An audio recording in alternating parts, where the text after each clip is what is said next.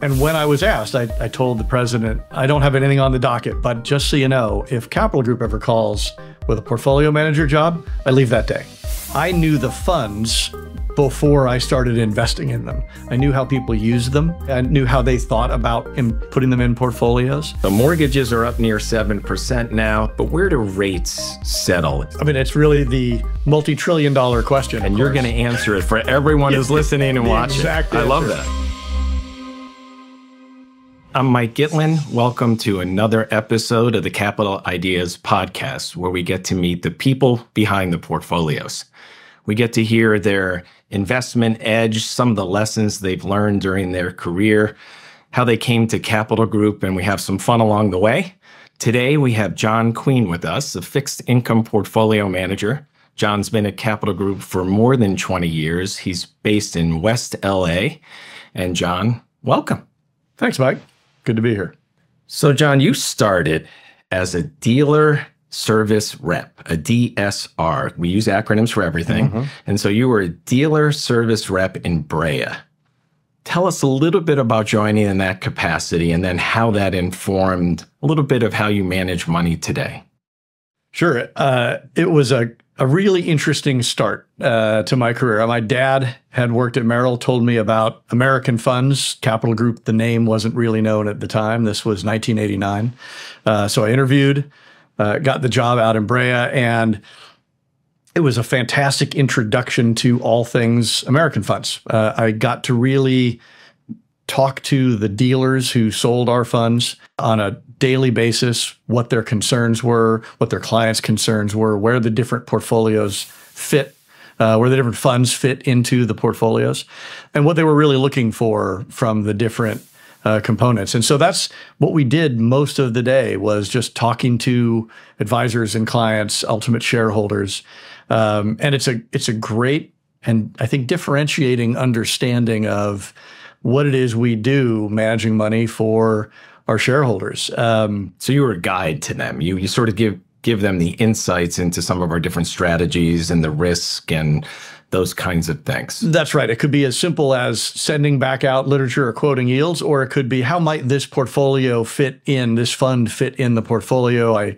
need something in international. Okay. I think as an investor, uh, now it, it really gives me a unique perspective uh, versus m- the way most investors come in to the capital group because I knew the funds before I started investing in them. I knew how people used them. Um, I knew what people really wanted from them rather than sort of what a marketing uh, brochure might say. I knew how they thought about putting them in portfolios. Um, so I think about that a lot as I manage portfolios today.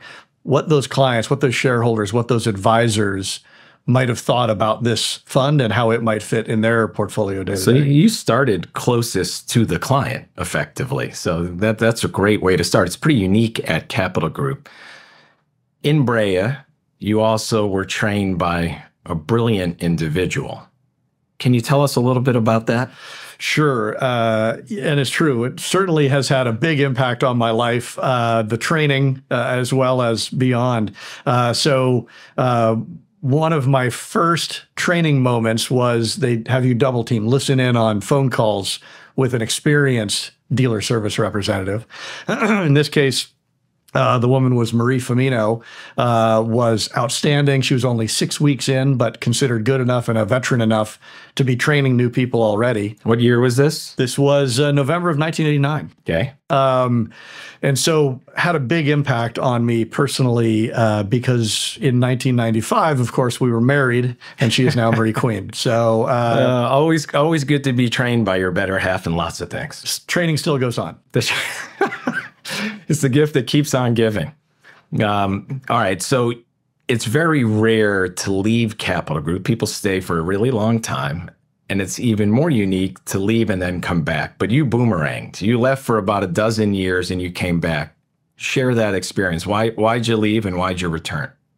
Yeah, it was interesting, and I certainly, in many ways, didn't want to leave initially. Uh, I was had moved from being a dealer service rep to a trader, um, and I've got to say that on a day to day basis, being a trader is a blast. It was one of the most fun jobs I've had day to day. But I recognized within a few years that what I really enjoyed about the markets and capital and the job was thinking about big picture components to it, not the in, not the moment to moment day to day of of trading bonds. And I was looking to to push that direction by becoming a portfolio manager.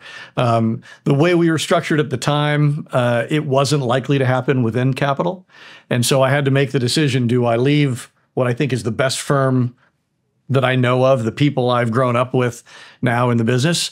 Uh, and pursue this job, or do I stay comfortable? And I decided to to leave. I went to another company um, to manage portfolios. It was an institutional uh, mutual fund portfolio manager in bonds.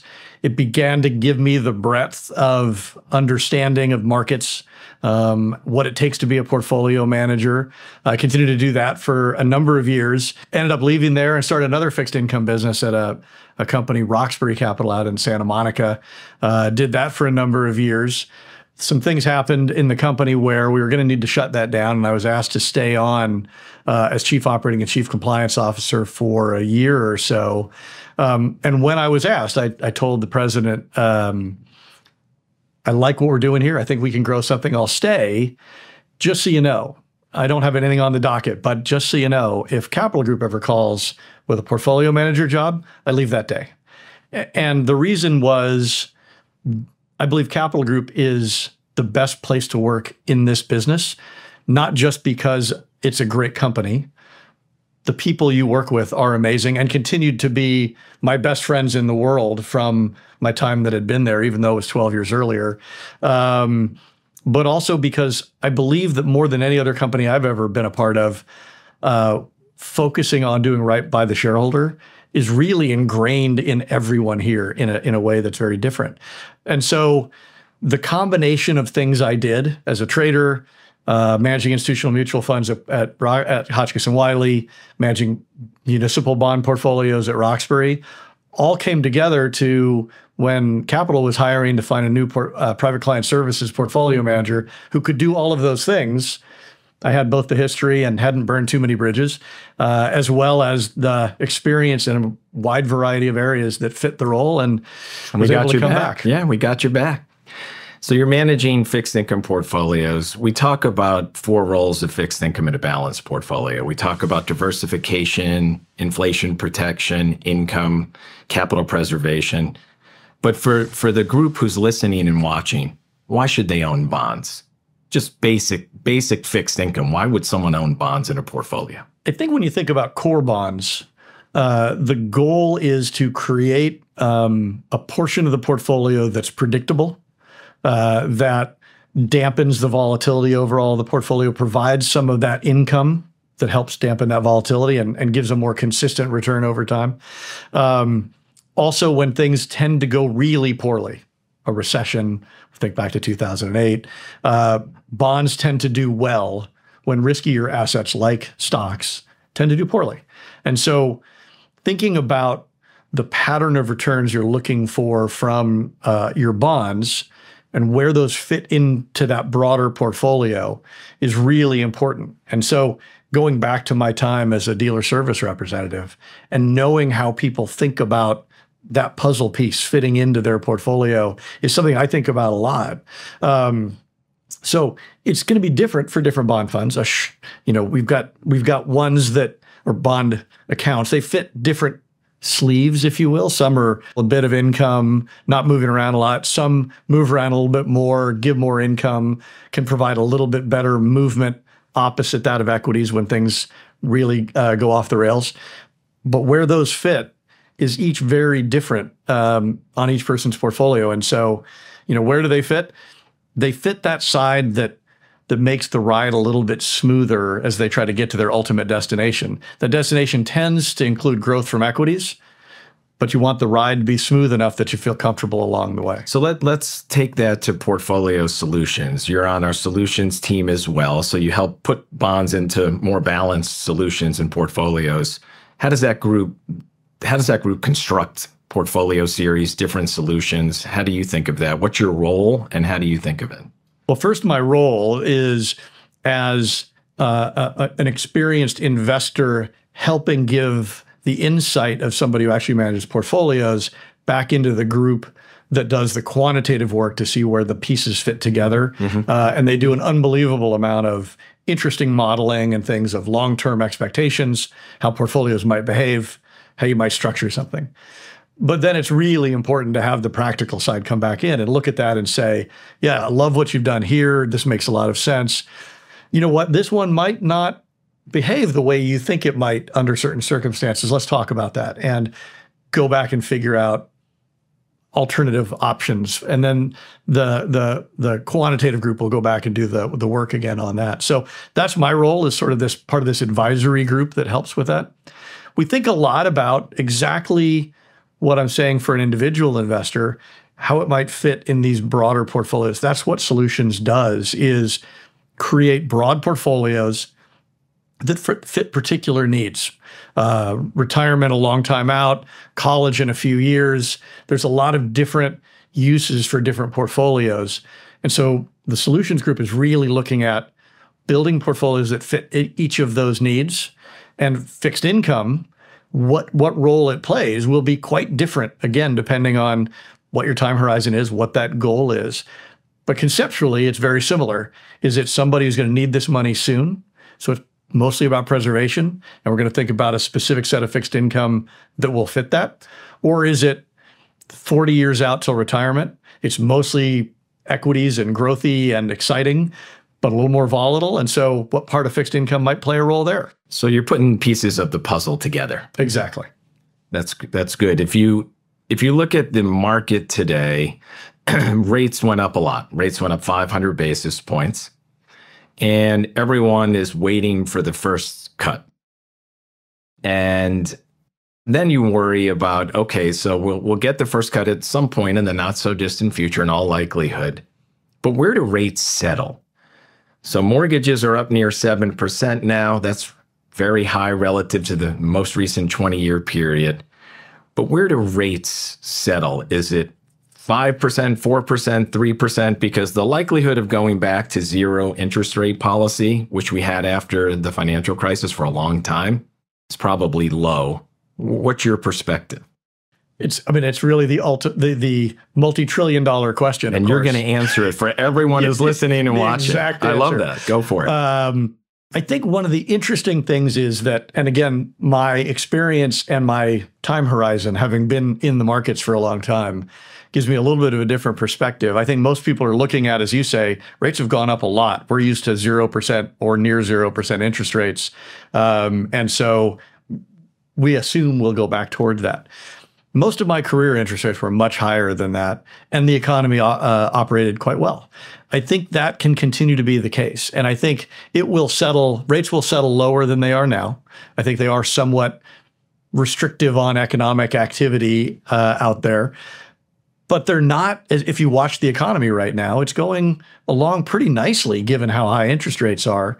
Um, so I don't think it's quite as hurtful to the economy as as most people thought it would be. So where will we settle if if say ten year treasuries to use a, a, a benchmark are four and a half ish right now?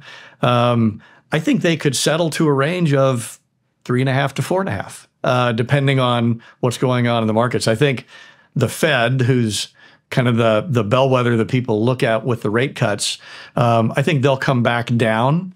But if inflation is two ish, and that's kind of what they're planning on, short term interest rates could easily be three, three and a half if economic growth is quite good, and and it certainly seems to be right now. So my best guess is three, three and a half on the very short end with Fed funds and money markets, and four, four and a half on 10 years. I saw a stat the other day on the 10 year US Treasury yield, something to the effect that pre financial crisis, pre 2008, for 50 years when inflation was around 2%, the 10 year was about 4.5%, where it is today. So the concept of it going back towards zero should be out of people's minds. I think that's exactly right. We we call that difference between the treasury rate and inflation the real rate.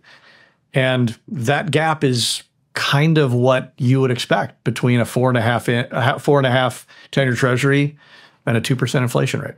So if I don't own core bonds today and I added them to the portfolio And there's lots of different flavors of bonds you could add to the portfolio. We recently had Kirstie Spence on. She talked about emerging market debt. But what should my five or 10 year total return expectations be for bonds at the core of the portfolio? I think ultimately what you should anticipate in bonds is getting what you're yielding currently as a as a return expectation. Now, so we, the income equals the return effectively. Exactly. Now, if you if you assume, as we've just stated, that yields might on parts of the portfolio come down a little bit over that time, you'll get some capital appreciation. So it might be a touch better than that, depending on your time frame. But I'd go in and say core bonds, five to six percent, probably closer to six, given extra things you can do beyond treasuries. Um, is a pretty reasonable expectation for going forward. Yeah, you talked about risk and diversification. If you think about that, five to six percent in core bonds, our long-term capital market assumptions for equities over the next 20 years is about 7%. So you're you're getting 85% the way there through bonds uh, with a little less risk. That's exactly right. Uh, there certainly tends to be less volatility on the bond side. You've got higher income again now on the bond side after 15 years of not having higher incomes there. Um, and as you say, the return expectations are quite attractive uh, with lower volatility and and lower risk. And again, combined with other parts of the portfolio, things that might do well when other parts of the portfolio, like your stocks, might might be doing less well. Great. I'm going to shift a bit to your style as a portfolio manager. And this is the humbling part of the conversation where you tell us when you're not right, why aren't you right? What what typically is it that makes you lag the benchmark, lag competitors? Because you do well over the long term, but there episodically you may have some challenges with results. What causes that? I think ultimately what causes it for me is probably the same thing that causes it for most investors, and it's sort of general behavioral science or or uh, where you know I I tend to get used to doing things a certain way, using certain rules of thumb, certain assumptions that parts of the market are going to behave a certain way. Yeah, and it's very easy to forget to step back and say, okay, this is happening right now. What's going to change it? And what will that look like? Um, I've heard you. I've heard you refer to that as intellectual laziness. I heard constructive you say, laziness. Is constructive laziness okay? E- either way, lazy is somewhere in the word. Well, well, and and inevitably, if I do it right, yes, and I structure the portfolio well, I have to do less on a day to day basis to try to adapt it to the market. I think what tends to happen when things are not haven't gone as well, it's because I'm watching things happen and I'm trying to adjust into a moving market rather than using that constructive laziness, stepping back a little bit, trying to figure out what's my longer term view, which is what I think I have a better sense of than day to day what's going to change tomorrow. Um, and how will this portfolio behave on that longer term view rather than letting letting the emotional side that everybody has watch the market and, right. and adjust it a little bit. So, what's your investment edge? You know, it's a good question, and it's something I've thought a lot about since coming back to Capital. Um, and I think ultimately it's that I'm a true generalist. Um, I, I, I like, as I said, the reason I left was I loved the putting the puzzle pieces together, thinking about the big picture. And I think if you the history of my education and career um, covers a lot of different areas. Um, I, I, was an engineering major, so I understand the quantitative side of things, but I'm not a quant. Um, I've done some analysis, but I'm not a great deep analyst. Um, I've seen different markets over a long period of time. Uh, I often joke that I've I've lived now through 11 or 12 once in a lifetime markets.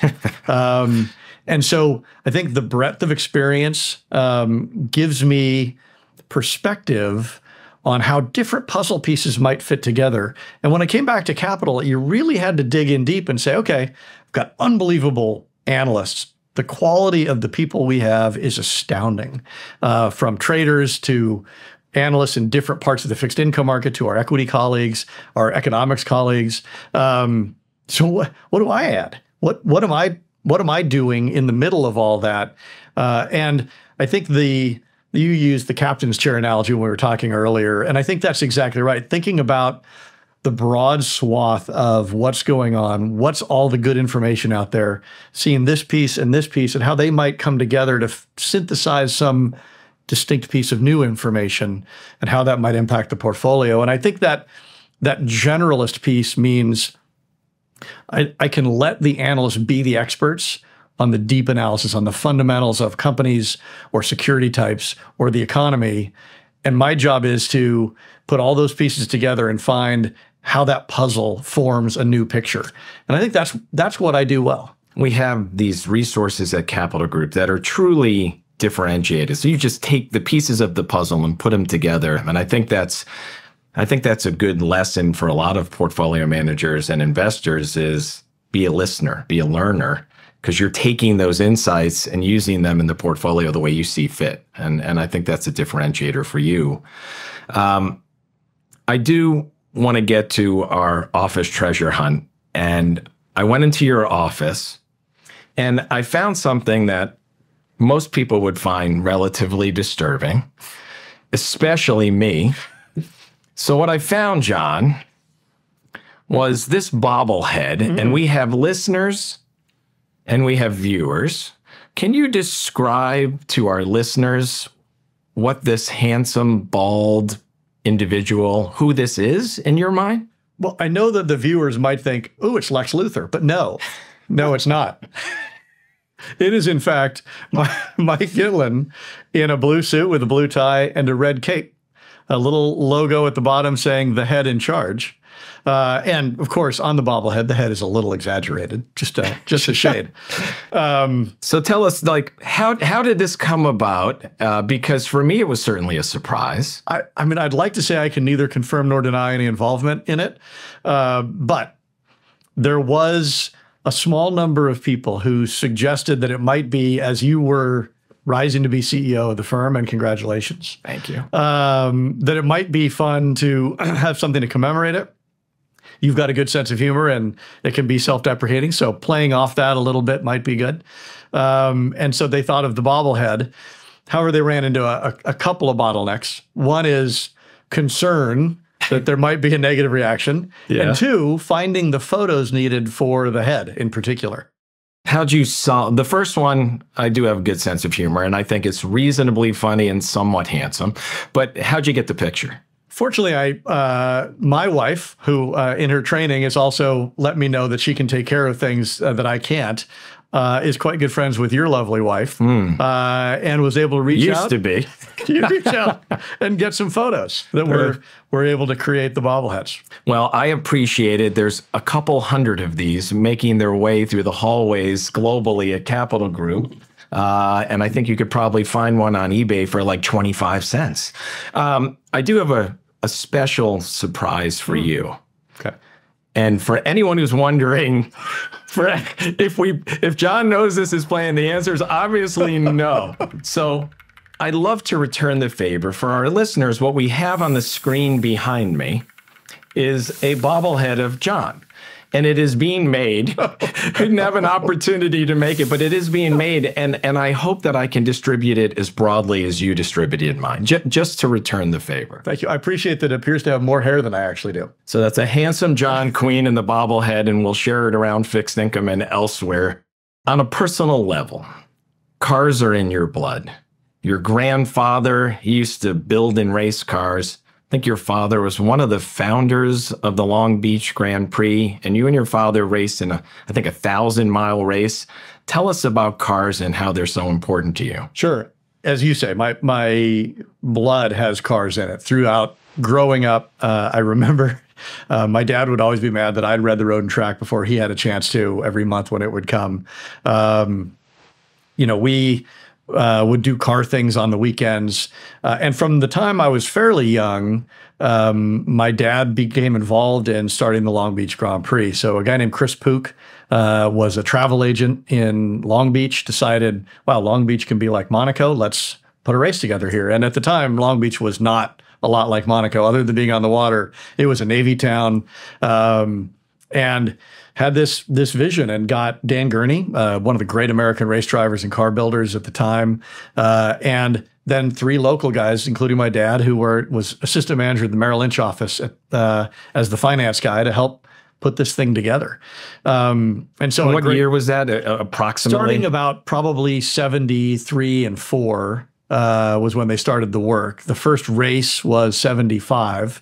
Um, and it's a great story. My uh, we stayed at the, the, Queen Mary, the hotel, as little kids. I was 11 at the time. We'd come in every day to to watch the stuff that was going on. My dad would be there because it was a shoestring operation initially, and so despite being the finance guy, they're putting up banners and helping push in place barricades and things. Um, so the race was a Formula 5000 race, which was a short-lived series to test the track and make sure it was okay for Formula One. Um, and as it's nearing the end, I didn't know any of this. I was watching. Uh, apparently, they couldn't find the Queen to award the trophy to Brian Redman, who ended up winning, South African driver. Um, and so I got to the victory stand to watch it, and there's my mom up there with Brian Redman getting champagne all over her suit, handing the trophy to him. Uh, and so a great experience. Truly, always been in our blood right from the beginning. And quickly on the thousand mile race, what is it? What? Why would you race a thousand miles in a vintage car? What? What is it? So originally there was a real race, flat out, fast as you could go, from 1927 to 1957 in Italy, thousand miles on the country roads of Italy, um, and it ended in 1957 after a crash where tragically a lot of people were killed. The record was set in 19, uh, 1955 was over 100 miles an hour on, on, average. On average, a thousand miles, averaging 100 miles an hour on country roads of Italy. I mean, just an astounding feat. So they stopped the race. In the late 70s, they started it back up as a rally. So now it's three days. You have to have a car that could have or did race in it back originally when it was a race. Um, and so I got to be the navigator with my dad. He had a 1952 Ferrari uh, 212 Europa. Um, and uh, it was an astounding experience, both driving through the, the countryside of Italy, crowds in every uh, city welcoming you in. They love their cars, and so they can point to cars, the average person knowing, oh, that's Vignale body or whatever. And then it was also three days with my dad uh, driving through Italy and, and just experiencing it. So pretty much one of the real highlights. Any of the three kids into cars now? All of them to some degree. My daughter, interestingly, is probably the one who's most into racing and watches Formula One with me. Uh, both my sons like cars, but more of the kind of off road Jeep kind of thing. Okay. And can we do anything with fast cars and long term investing? Can we put them together and any takeaway? You know, I, I think there are some parallels. Um, less less so for my at my level of capability on cars, but uh, I was watching Monaco and the level of focus it takes to do well at racing. Obviously, there's skill, there's talent, there's all kinds of aspects that are specific to racing. But to be good at it, you've got to be able to go multiple laps at very high pressure, reacting to things as they change, and yet maintain focus over an hour or two hours or three hours to hit the exact same spot over and over again. Not get distracted by the emotional side of fear going into a corner too fast or somebody cutting you off. And I think that that focus and that discipline actually is a real parallel to what we do investing portfolios. So we're going to end up today, and we do this in every one of our episodes where we talk about what we're grateful for. It's it's a nice way to end, and it's a reminder of gratitude being super important in our lives. As I get out your fancy mug, I'll give you a moment to think about it. I will share one of mine, and what I am grateful for is at Capital Group, we recently rolled out the long term strategic plan to our 9,000 associates. And in, in that long term strategic plan, we talk about why we're evolving for our clients and why the industry is evolving and how it's evolving. We talk about what will look like at Capital Group in 2031, which is our centennial. But the how in all of it are the 9,000 associates that drive that plan and execute the plan. So I am grateful for the 9,000 associates who are going to drive our long term strategic plan. John, what are you grateful for?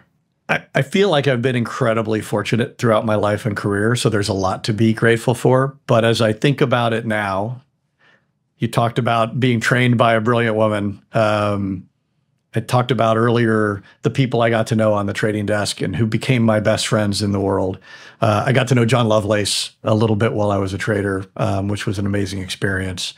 Um, I feel like capital really has been at the core of everything that now is my life um, and what capital has given me. And it sounds maybe a little cliche to, to be, you know, sit here and be grateful for the company, but really, it has given me everything um, that that I that I feel like I currently have in, a, in large parts of my life, and so I'm truly grateful for Capital Group, the associates you're talking about, for Jon Lovelace for having put the structure together to make it the place it is and the culture it has. Um, I just couldn't be, I couldn't feel better about being somewhere in my life than here. That's a great way to end it. We'll close it there. And I, I will give you your mug. You can take this away. Thank you for joining the podcast. Please subscribe to Capital Group on YouTube or wherever you get your podcasts and join us again next time. Have a great day.